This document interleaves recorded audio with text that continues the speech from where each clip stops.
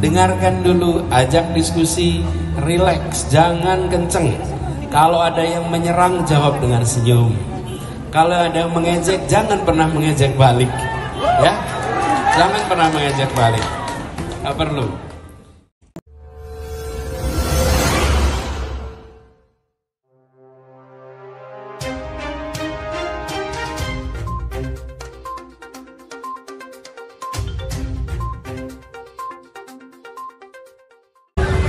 Teman-teman rombongan dari Jakarta yang mengawal Bapak Anies agar menjaga kesehatan. tanda tangan.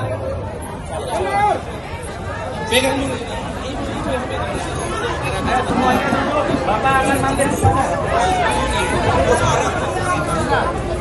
Langsung, langsung, langsung penanda tanganan dulu. Penanda tanganan dulu ini. Ini yang penting. Relawan sini Pak, supaya lihat tuh. Ya. Ya. Baik, silakan. Izin Pak. Duduk, duduk, duduk, duduk, semuanya duduk. Duduk, duduk, duduk, duduk, duduk. Semua teman-teman, teman-teman, teman-teman duduk dulu. Duduk dulu, teman-teman duduk dulu. Taruh di atas sini. Duduk, duduk, duduk dulu, duduk dulu. Tidak ada yang foto-foto, istirahat foto-foto. Istirahat karena ini pengerahan. Bapak tidak lama di sini. Bapak punya tugas masih 8 titik lagi. Duduk, iya, oke, baik, terima kasih.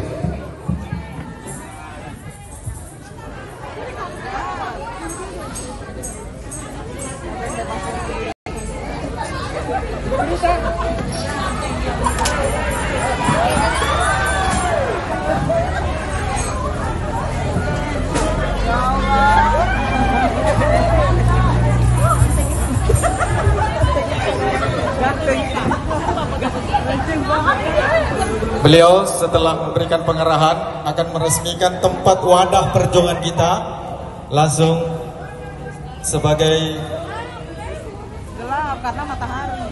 Warkop singkatan dari Wadah Relawan Komando Perjuangan Anies Baswedan. Beliau meresmikan tempat ini sebagai wadah perjuangan para relawan di Sulawesi Tengah.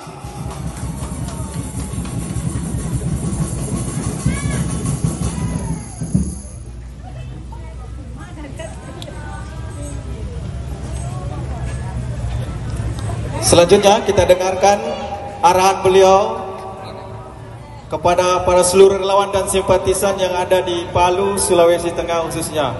Dengan hormat saya persilahkan. Assalamualaikum. Apa kabar? Sehat? Cukup istirahat tidak? Sampai jam berapa tadi malam?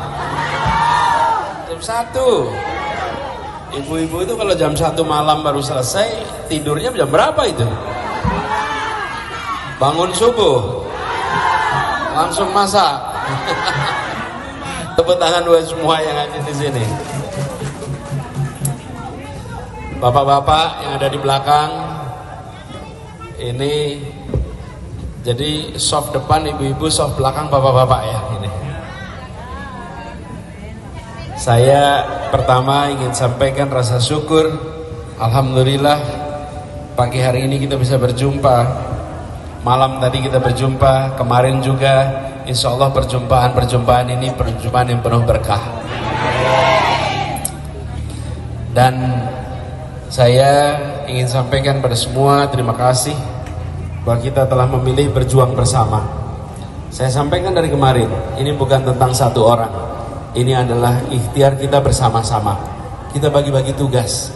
Kebetulan saya dapat tugas pegang mikrofon. Tugas saya pegang mikrofon. Tapi perhelatan ini tidak terjadi kalau tidak ada yang menyiapkan kursinya, menyiapkan speakernya, menyiapkan tendanya, betul kan? Tapi bukan berarti semuanya ditentukan oleh yang pegang mikrofon. Betul ya? Yang menentukan semua kita. Kalau kita ingin menyelenggarakan tempat seperti ini, maka kita bagi-bagi tugas. Kalau kita ingin menyelenggarakan Indonesia yang lebih adil, maka kita bagi-bagi tugas. Dan itulah tugas yang kita kerjakan sekarang ini. Siap? Nah, saya berharap kerukunan antar relawan dijaga. Di belakang sana ada 22 lambang. tapi harus satu tujuan, satu misi, dan satu persaudaraan. Siap? Lalu dalam perjalanan nanti jangkau semuanya. Kalau bertemu dengan mereka yang berpandangan berbeda, tidak usah berdebat keras, rileks saja. Dengarkan, ngobrol, kasih waktu. Karena pemilu bukan bulan depan, ya. Pemilu masih panjang. Dengarkan dulu, ajak diskusi, rileks, jangan kenceng. Kalau ada yang menyerang, jawab dengan senyum. Kalau ada yang mengejek, jangan pernah mengejek balik. Ya, jangan pernah mengejek balik. Gak perlu. Kita bawa pesan yang positif. Kita mengajak untuk kebaikan. Jangan terjebak untuk ikut-ikutan menjelek-jelekan. Tidak perlu. Dan kita tunjukkan bahwa kita memang rombongan baik karena itu kita menyebar kebaikan. Gitu ya. Dan Bapak Ibu sekalian, saya berharap nantinya semangatnya dijaga. Karena saya belum tahu juga kapan bisa kembali lagi ke Palu. Tapi tujuan kita bukan mendatangkan, tujuan kita memenangkan. Betul? Kadang-kadang kita mikirnya mendatangkan. Kalau nggak bisa datang berarti nggak berhasil, bukan. Keberhasilannya bukan pada mendatangkan, keberhasilannya pada ingat-ingat tuh. Ya. Jadi sekalian, saya bersyukur kali ini bisa hadir dan insya Allah nanti silaturahminya terjaga. Saya berharap kepada para ketua untuk bisa memimpin dengan baik, untuk bisa merawat barisannya, untuk bisa menata barisannya. Dan insya Allah dengan cara seperti itu maka ikhtiar kita insya Allah nanti akan dimudahkan perjalanannya. Gitu ya, ibu sekalian, itu yang bisa saya sampaikan. Kita ingin punya kenang-kenangan, tapi supaya kenang-kenangannya bisa direkam dengan baik, jangan rebutan. Eh, rebutan itu cara kita kehilangan momen. Rebutan tuh. Kalau kita tidak rebutan, duduk aja tenang.